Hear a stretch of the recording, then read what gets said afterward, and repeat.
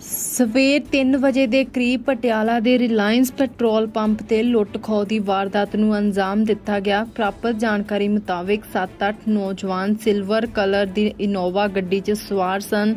ਤੇ ਸਵੇਰ ਦੇ 3 ਵਜੇ ਦੇ ਕਰੀਬ ਪਟਿਆਲਾ ਦੇ ਰਿਲਾਇੰਸ ਪੈਟਰੋਲ ਪੰਪ ਤੇ ਪੈਟਰੋਲ ਪਵਾਉਣ ਆਏ ਤੇ ਗੱਡੀ 'ਚ ਸਵਾਰ ਤਿੰਨ ਨੌਜਵਾਨ ਗੱਡੀ 'ਚੋਂ ਹੇਠਾਂ ਉਤਰ ਕੇ ਸਿਕਿਉਰਿਟੀ ਗਾਰਡ ਸੁਖਦੇਵ ਸਿੰਘ ਨੂੰ ਗੋਲੀਆਂ ਦਿਖਾ 10000 ਦੇ ਕਰੀਬ ਪੈਸੇ ਤੇ ਸਿਕਿਉਰਿਟੀ ਗਾਰਡ ਦਾ ਰਿਵਾਲਵਰ ਖੋ ਕੇ ਫਰਾਰ ਹੋ ਗਏ। ਇਹ ਸਾਰੀ ਘਟਨਾ ਸੀਸੀਟੀਵੀ ਵਿੱਚ ਕੈਦ ਹੋ ਗਈ। ਤਸਵੀਰਾਂ ਤੁਸੀਂ ਦੇਖ ਸਕਦੇ ਹੋ ਕਿ ਕਿਸ ਤਰ੍ਹਾਂ ਇਨੋਵਾ ਸਵਾਰ ਨੌਜਵਾਨਾਂ ਵੱਲੋਂ ਡਿਊਟੀ ਤੇ ਮੌਜੂਦ ਵਿਅਕਤੀਆਂ ਨੂੰ ਗੋਲੀਆਂ ਦਿਖਾ ਘਟਨਾ ਨੂੰ ਅੰਜਾਮ ਦਿੱਤਾ ਗਿਆ।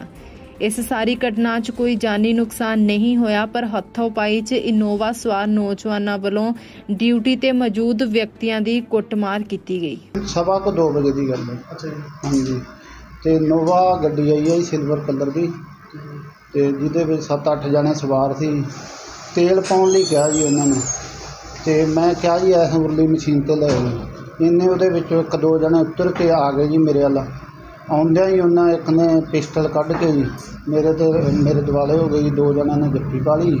ਇੰਨੇ ਹੋਰ ਜਿਹੜੇ ਉੱਤਰ ਕੇ ਆ ਗਏ ਜੀ ਸਾਰੇ ਜਣੇ। ਤੇ ਆ ਕੇ ਰਿਵਾਲਵਰ ਮੇਰਾ ਜੀ ਖੋਹ ਲਿਆ ਉਹਨਾਂ ਨੇ। ਜੇ ਮੈਂ ਉਹਨੂੰ ਚਲਾਉਣ ਲੱਗਾ ਤੇ ਅਗਲੇ ਬੰਨੇ ਇੱਕ ਹੋਰ ਖੜਾ ਸੀ ਜੀ ਪਿਸਟਲ ਲੈ ਕੇ ਜੀ। ਤੇ ਉਹ ਕਹਿੰਦਾ ਗੋਲੀ ਮਾਰ ਦੂੰਗਾ ਜੀ ਮੈਂ ਫਿਰ ਉੱਥੇ ਹੀ ਦਬ ਗਿਆ। ਫਿਰ ਕਿੰਨੇ ਕਿੰਨੇ ਕ ਬੰਦੇ ਸੀ ਉਹ? 8 7 8 ਜਣੇ ਸੀ। ਇੱਕ ਗੱਡੀ 'ਚ ਜੀ? ਇੱਕ ਗੱਡੀ ਤੇ ਅੱਛਾ ਅੱਛਾ। ਕੋਈ ਜਾਨੀ ਨੁਕਸਾਨ ਸਰ ਤੁਹਾਡਾ? ਨਹੀਂ ਜੀ ਕੁਝ ਨਹੀਂ ਹੋਇਆ ਜੀ ਬਸ ਮੁੱਕੀ ਘਸੋਨਾ ਕੀਤਾ ਜੀ ਉਹਨਾਂ ਜਿਹੜਾ ਅੱਛਾ ਅੱਛਾ। ਕੋਈ ਛਿੰਨ ਵਗੈਰਾ? ਹੈ?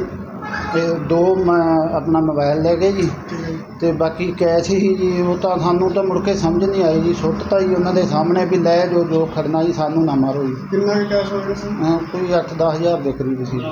ਇਸ ਮੌਕੇ ਥਾਣਾ ਮੁਖੀ ਸੌਰਵ ਜਿੰਦਲ ਨੇ ਜਾਣਕਾਰੀ ਦਿੰਦਿਆਂ ਦੱਸਿਆ ਕਿ ਉਹਨਾਂ ਵੱਲੋਂ ਮਾਮਲੇ ਦੀ ਜਾਂਚ ਕੀਤੀ ਜਾ ਰਹੀ ਹੈ ਤੇ ਧਾਰਾ 147 ਦੇ ਅਧੀਨ ਮਾਮਲਾ ਵੀ ਦਰਜ ਕਰ ਲਿਆ ਗਿਆ। ਕਰੀਬ 2:30 ਵਜੇ ਸਰਹੰਦ ਰੋਡ ਤੇ ਪਿੰਡ ਬਾਰਮ ਦੇ ਵਿੱਚ ਰਿਲਾਇੰਸ ਪੈਟਰੋਲ ਪੰਪ ਹੈ। ਉੱਥੇ ਇੱਕ ਇਨੋਵਾ ਗੱਡੀ ਸਿਲਵਰ ਰੰਗ ਦੀ ਚ ਪੰਜ ਛੇ ਨਾਮਲੂਮ ਵਿਅਕਤੀ ਆਏ, ਜਿਨ੍ਹਾਂ ਨੇ ਆ ਕੇ ਪੈਟਰੋਲ ਪੰਪ ਤੋਂ ਪੈਟਰੋਲ ਪੰਪ ਦੇ ਸੇਲਸਮੈਨ ਤੋਂ ਕਰੀਬ 5 5-6000 ਰੁਪਏ ਕੈਸ਼ ਅਤੇ ਇੱਕ ਸਿਕਿਉਰਿਟੀ ਗਾਰਡ ਤੋਂ ਰਿਵਾਲਵਰ ਖੋਲ੍ਹਿਆ ਇਸ ਮਾਮਲੇ ਦੇ ਵਿੱਚ ਅਸੀਂ ਮੁਕੱਦਮਾ ਥਾਣਾ ਅਨਾਜ ਮੰਡੀ ਦੇ ਵਿੱਚ 147 ਨੰਬਰ ਮੁਕੱਦਮਾ ਦਰਜ ਕਰ ਲਿਆ ਹੈ। ਜਲਦੀ ਅਸੀਂ ਇਹ ਬੰਦਿਆਂ ਨੂੰ ਟ੍ਰੇਸ ਕਰਕੇ ਤਫਤੀਸ਼ ਸੀਸੀਟੀਵੀ ਕੈਮਰਾਜ਼ ਲੱਗੇ ਹੋਏ ਨੇ ਪੰਪ ਦੇ ਵਿੱਚ। 6 ਬੰਦੇ ਸੀਗੇ ਟੋਟਲ ਤੇ ਇੱਕ ਸਿਲਵਰ ਰੰਗ ਦੀ ਇਨੋਵਾ ਗੱਡੀ ਦੇ ਵਿੱਚ ਆਈ ਸੀ। ਕਿੱਥੋਂ ਆਇਆ ਸੀ? ਕੁਛ ਪਤਾ ਲੱਗਾ ਕੌਣ ਇਹ ਅਸੀਂ ਚੈੱਕ ਕਰ ਰਹੇ ਹਾਂ ਸਾਡੀ ਟੀਮਸ ਲੱਗੀਆਂ ਹੋਈਆਂ ਨੇ। ਅਸੀਂ ਜਲਦੀ ਇਹਨਾਂ ਨੂੰ ਟ੍ਰੇਸ ਕਰਕੇ ਤੁਹਾਨੂੰ ਬਰੀਫ ਕਰਨਾ।